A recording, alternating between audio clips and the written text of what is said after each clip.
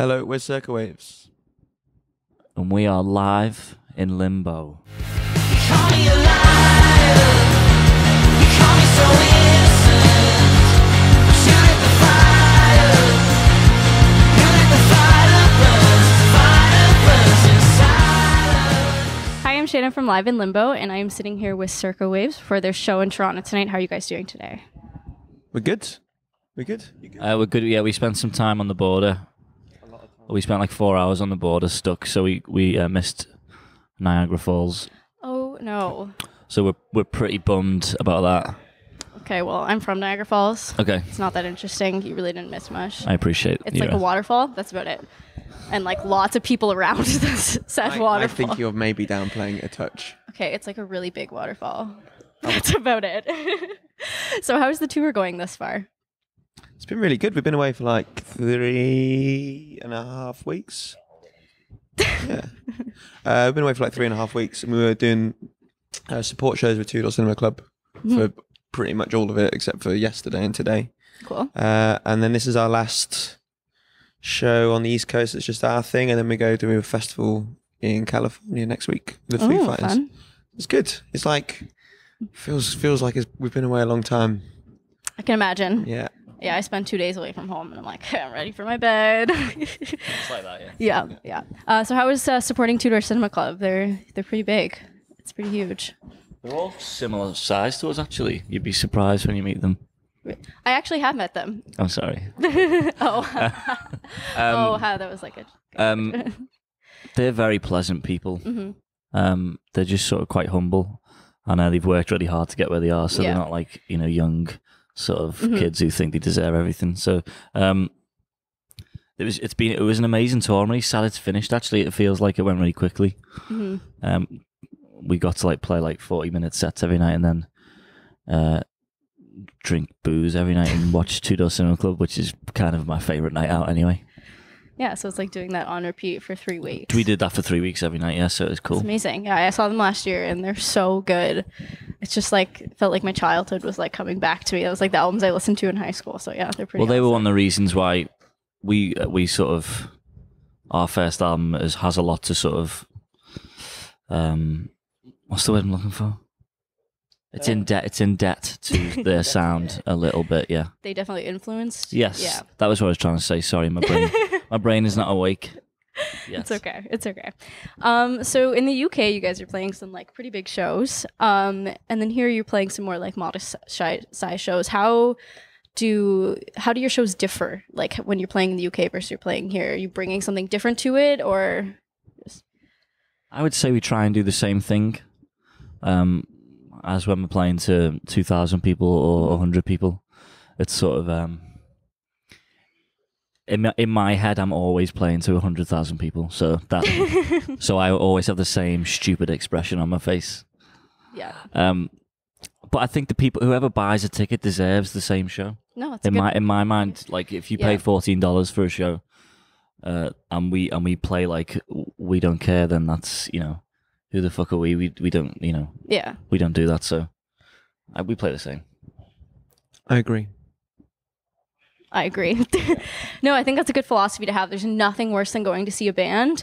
And like, even if it's like a moderate size show and you can just tell they're not into it, and you're like, well, me as an audience member, why am I going to get into it if Yeah, you're not? Right? It's stupid. It's it's the, you'll look back on your career and go, oh, maybe that's why we didn't get bigger. Mm-hmm. So we we take every show like it's our last and sort of play play for whoever buys a ticket. Really. That's a good philosophy. Um, so you guys uh, played Glastonbury this summer, and I know that is huge for literally anyone, any band that's in the UK.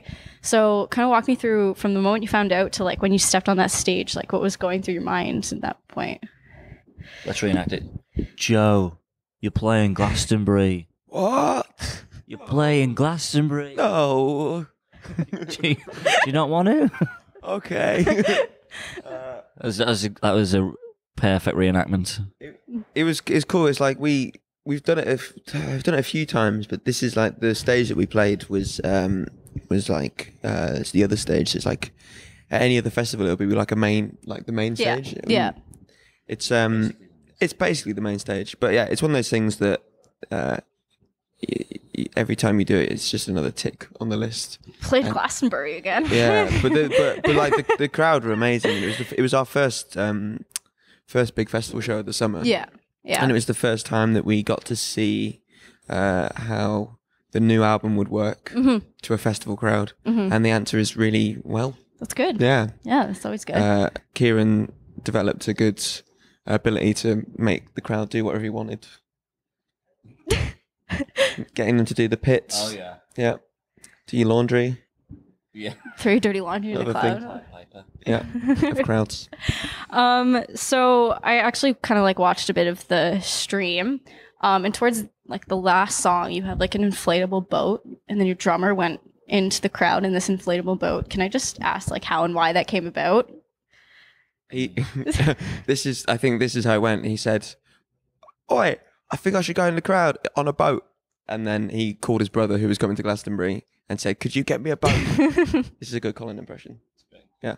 And then his his brother, like, bless him, like queued up queued up to get into Glastonbury carrying a an inflatable dinghy Do you and want? gave it to him. And then it was like it was all like our crew. They orchest they sort of orchestrated it. It was a security briefing. It was a lot less rock and roll than you imagine. I, like people, I was watching and people were trying to like knock get him him out. Yeah. yeah, Like, and he, I swear, he was just like stamping on the river. like, people were like trying to push, and he was definitely stamping back. It was fun to watch, though, right? I, I yeah, it's a fantastic show for me to mm-hmm. watch. yeah. I was watching it. and I was just like, at the end, I was like, did he just fall in the crowd? Like, how long did it take him to get back to the stage? But then James Blunt did it recently, and he was like, "Oh, I'm in a dinghy," and we were like, "Fuck off, James Blunt." Colin's already done it. You copied us. You watched our Yeah. Glastonbury set. How friggin' Yeah, dare you? James. Yeah, we did Come on. so let's talk a bit about your new album. So, um, as someone who listens to music, whenever a new album comes out, there's always people who have their two cents that they throw in about it. Um, you make something too similar, your all your songs sound the same. Um, you make something different, they miss your old sound. So it's like you can't really win. So when you were writing this new album, and obviously it's so much different than your first album, which was so successful, were you just like, we're gonna do what we want, or did you plan to do something different? Like, how did this come come about? Um, well, I think no matter what style we write in, it's still going to be pop music. Mhm. So I was never fearful that people wouldn't like it, and I was I maybe thought some of our fan base might sort of go, "Oh, I don't like this; it's a bit too heavy," but I always knew that if they were going to leave, then there would always be some more people who would come in. Yeah. Um, and all the bands that we've ever liked um, have always moved on and changed, and bands who I grew up with, like the Maccabees and Arcade Fire, and obviously like the Beatles, who come out, every album's slightly Yeah. different, and it develops and they mature, and the instrumentation changes. And we we, I think we were quite sort of uh, fearless in our decisions, and we didn't worry too much about it. Mhm. Um, you know, Wake Up is about a million miles away from T-shirt weather, Yeah. so I guess ma- maybe maybe it was a bad decision. I don't know. I don't think it was a bad decision. okay, good. I like it. It's good. I think it's good. I mean, if you like uh, summery sort of surf music, listen to the first one. If you like rock and roll, listen to yeah. the second one. No, exactly. I think T-shirt weather has been on every single summer playlist I've ever looked at ever since like 2014. so like, it's a it's a good mix up, and like, there's nothing wrong with mixing it up. Like some of my favorite albums of all time have been something that an artist took it their music in a different direction. Mm-hmm.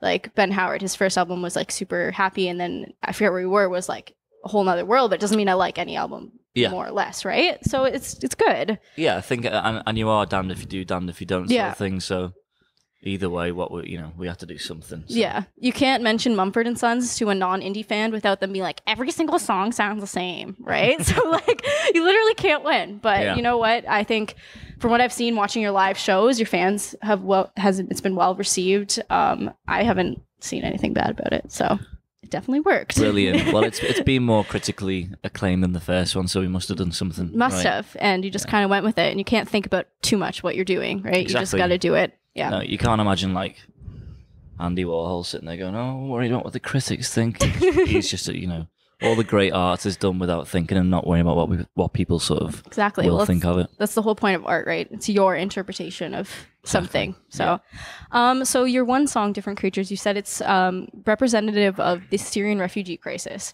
And I've seen lately a lot of artists, such as like Matty Healy from the 1975, are becoming more increasingly political. Um, what is your opinion on artists being political? Do you think they should, if you have the platform, or you should keep it strictly to art? They should shut up and keep their mouths shut. Um, no, I mean we.